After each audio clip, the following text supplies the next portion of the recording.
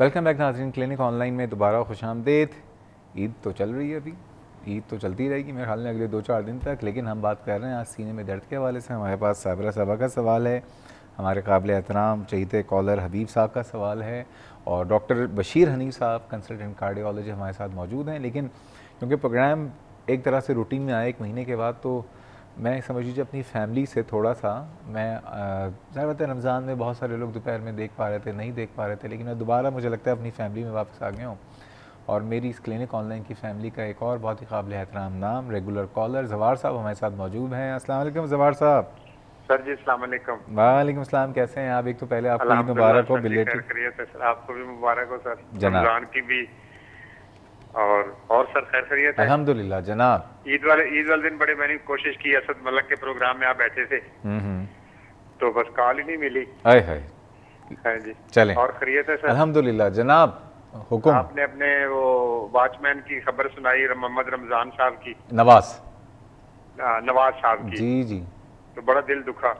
बताइए जैसे कितने नवाज़ हैं जिनको सर पे गोलियाँ लगी होंगी उस हाँ बस देख लें जो भी प्रोग्राम जो खबरें सुनते थे उनमें यही आता था कि फला में ये हो गया फला में ये हो गया। एक और सर छोटी सी मेरी जो इस दफ़ा मेरा दिल दुखा है ना हाँ।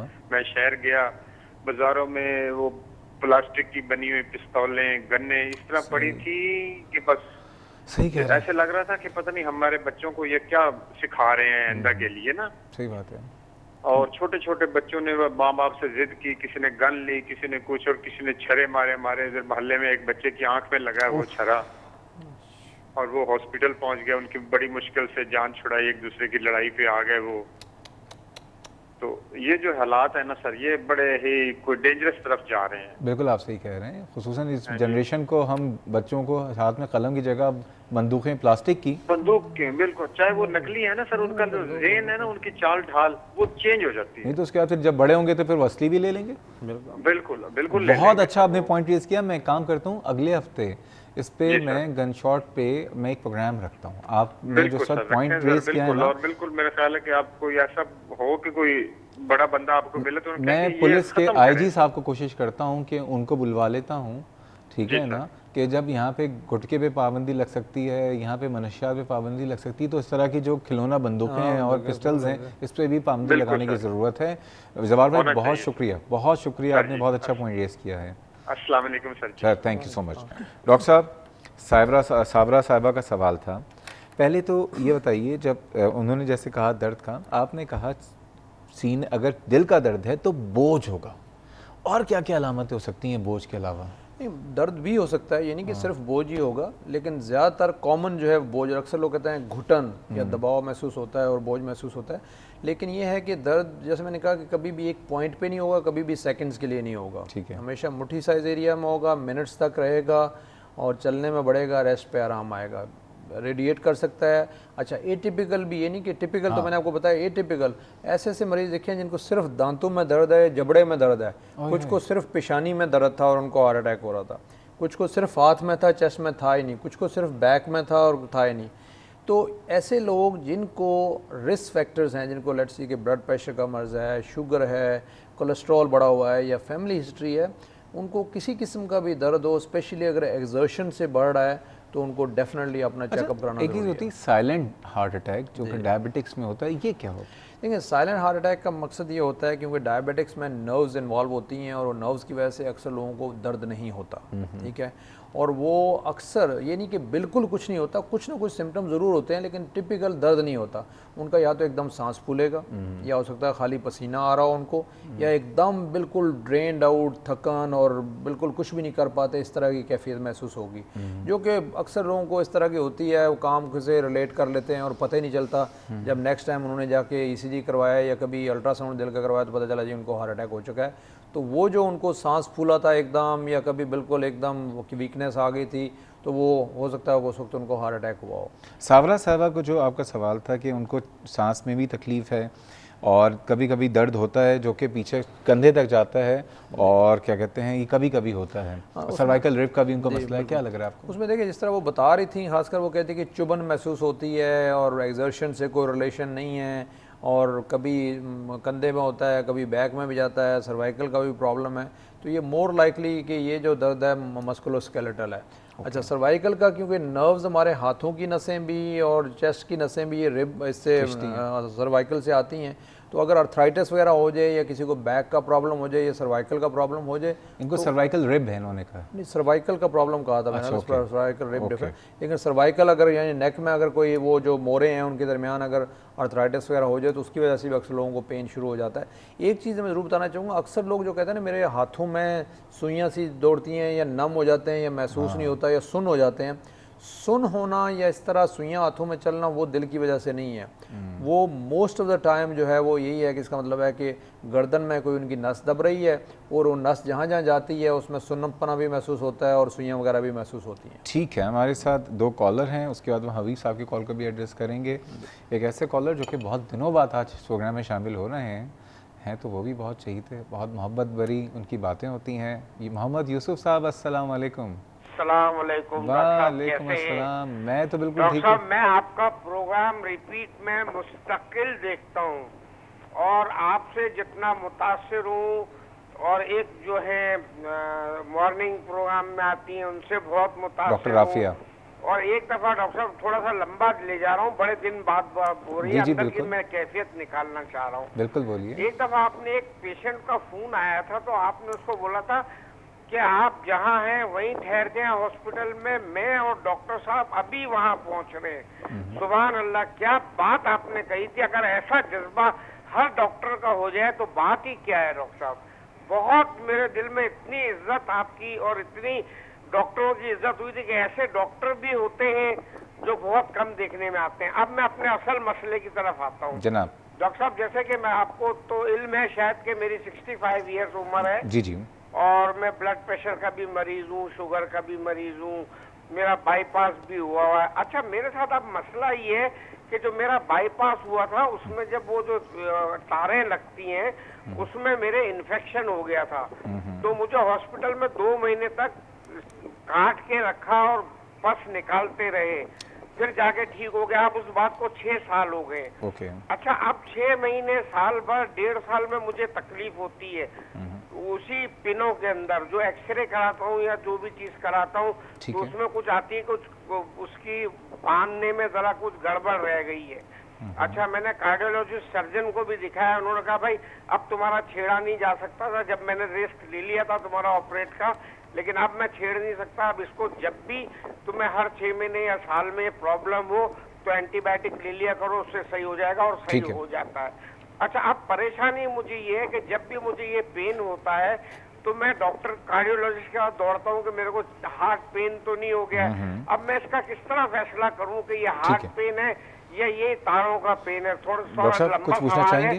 सॉरी मादर नहीं अरे क्यों क्यों शर्मिंदा कर रहे हैं? जी प्रोग्राम आप लोगों के लिए बहुत शुक्रिया बहुत शुक्रिया। अल्लाह ताला आपको दराज करे और बहुत खुश रखे। आपका वालिद साहब का बड़ा अफसोस हुआ। अल्लाह उन्हें जन्नतुल फिरदौस में जगह आता फरमाए।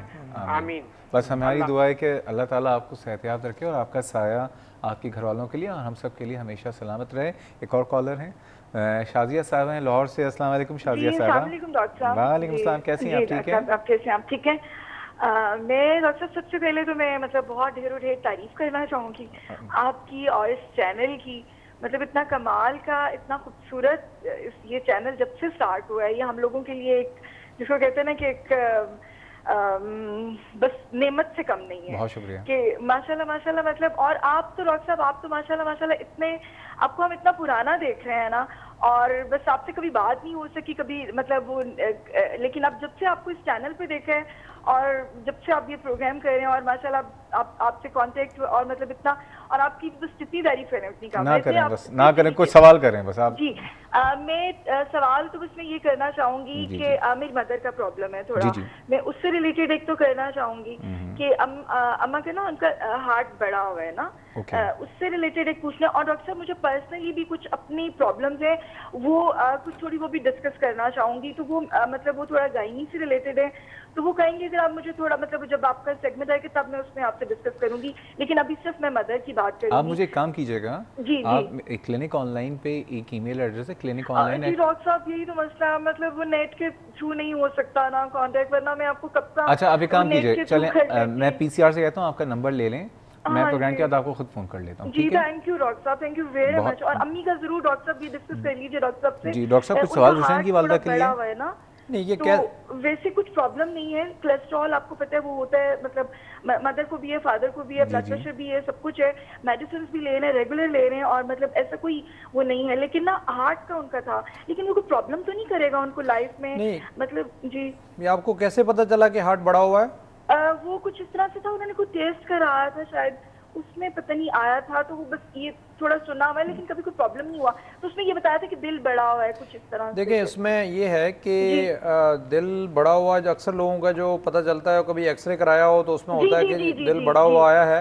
उसकी कोई सिग्निफिकेंस नहीं होती। अक्सर वो अगर आप थोड़ा सा सांस गहरी ना लें तो भी वो हार्ट दिल का साइज़ बड़ा हुआ आता है। तो अच्छा अगर उनको तकलीफ़ कोई नहीं है तो फिर कोई ऐसी परेशानी की बात नहीं है। सांस नहीं फूलता। दर्द नहीं होता तो फिर कोई ऐसा मसला नहीं है। अच्छा, अगर सांस वगैरह फूल रहा हो या दर्द हो रहा हो तो मैं फर्दर टेस्टिंग की ज़रूरत है नहीं कर सकती अम्मी ना वॉक नहीं कर सकती हैं वॉक करती हैं उनको सांस चढ़ता है। मतलब पहले बहुत माशाल्लाह चल लेती थी अब वॉक वॉक नहीं होती उनसे ना।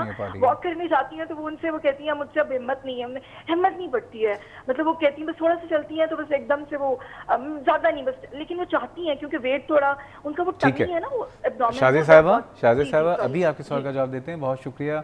मैं बिल्कुल अभी डिस्कस करते हैं डॉक्टर साहब क्योंकि कॉल भी बहुत वक्त कम मुकाबला सख्त वाली बात है। एक और कॉलर हैं लाहौर से ही फौजिया साहब वालेकुम। फौजिया साहब आप लाइन पे हैं? या कॉल ड्रॉप वालेकुम सलाम जी कैसी हैं आप? ठीक हैं? जी जी। जनाब। जी मैंने डॉक्टर साहब से बात करनी थी जी जी बात कीजिए। कि मेरे सीने में दर्द होता है। हम्म, और मुझे पसीने बहुत ज़्यादा आते हैं। एकदम अगर मैं पंखे के नीचे बैठी हूँ बिल्कुल रिलैक्स होती हूँ। और कोई बिल्कुल पसीना नहीं होता। एकदम बैठे बैठे इतना ज़्यादा पसीना आ जाएगा कि मेरे कपड़े भी गीले हो जाते हैं okay. और मेरा दिल घबराने लग जाता है। ऐसे जैसे दिल मेरा जो है ना वो दब रहा है दबाव है। में होता है। और इधर लाहौर कार्डियोलॉजी से मैंने अपने टेस्ट वगैरह भी करवाए हैं तो वो अल्लाह का शुक्र है कि वो टेस्ट ठीक आए हैं। ईजीटी हुआ था और इस तरह के उम्र कितनी आपकी? कौन से टेस्ट जी? उम्र कितनी है? जी। आपके एज कितनी है? उम्र कितनी है? जी फोर्टी ईयर्स डॉक्टर साहब कुछ पूछना चाहेंगे? कोई और ब्लड प्रेशर या शुगर वगैरह का मसला तो नहीं है? जी नहीं अल्लाह का शुक्र ब्लड प्रेशर मेरा लो होता है। अल्लाह का शुक्र है कि शुगर नहीं है। तो टेस्ट में आपका कोई स्ट्रेस टेस्ट हुआ था जिसमें मशीन पे आपको चलाया हो? जी जी जी जी वो बिल्कुल तकरीबन मैं तेरह मिनट उन्होंने मुझे चलाया था। तो वो मैं बिल्कुल वो कहता ठीक है आपका। लेकिन इस तरह मेरे साथ बहुत ज़्यादा होता है कि एक फिर उन्होंने डॉक्टर ने कहा था कि आपको जो है ना वो ये अच्छा थायराइड का कोई टेस्ट करवाया आपने? एंजियोग्राफी उन्होंने कहा था कि करवाएँ आप। नहीं, उन्होंने कहा था कि आपको घबराहट रहती है कतः कलामी माफ़। करवा लेते हैं आपसे। कतः कलामी माफ़ फौजिया साहबा घबराहट रहती है पसीने आते हैं। कभी आप, आपका वज़न कितना है? अ, अ, मेरा सिक्सटी सिक्सटी सेवन। अच्छा सिक्स कभी थायराइड का कोई टेस्ट हुआ है आपका? किस चीज़ का? थायराइड हार्मोन का। नहीं वो नहीं हुआ। ठीक है डॉक्टर साहब सवाल समझ लिया। अभी मैं अब आवाज़ ऊँची कर लूँ उसने जी? टीवी की अब आवाज़ ऊँची कर लूँ? नहीं अब अभी आप हमने आपका सवाल ले लिया है और कुछ आपने कुछ कुछ ही पूछना है हमें जाना है ब्रेक पे। या आप एक काम कीजिए। यही मुझे बस यही है कि मुझे कोई इस तरह बताया जाए कि ये मेरे साथ क्यों इस तरह है क्योंकि यहाँ मैंने दिखाया तो वो तो कहते हैं कि आपको हार्ट प्रॉब्लम नहीं है। लेकिन ये कंटिन्यू मेरे साथ इसी तरह ही मसला ठीक होता है रहता है कि ठीक है। अभी इसको हम डिस्कस कर लेते हैं। हबीब साहब आपका मसला शाजिया साहबा की वालदा मोहम्मद यूसुफ साहब सबको अभी डिस्कस करते हैं लेकिन वक्त एक छोटे से ब्रेक का हमारे साथ रहिएगा।